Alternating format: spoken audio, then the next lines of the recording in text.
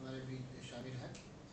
मैं सबसे पहले धन्यवाद देना चाहूँगा मध्य प्रदेश शासन, विशेष तौर पे खेल एवं युवा मंत्रालय का, जिन्होंने पिछले चार वर्षों से नेहरू हॉकी सोसाइटी के साथ बड़ा योगदान दिया है।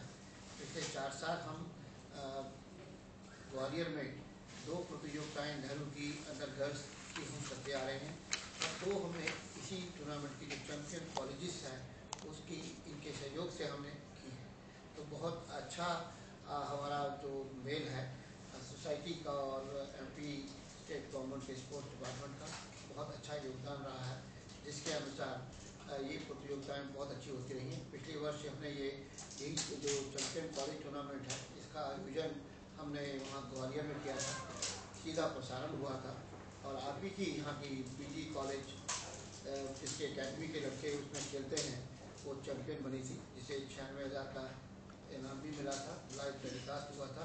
बहुत ही यूनिवर्सिटी के बेस्ट टैलेंटेड है। जो यूनिवर्सिटी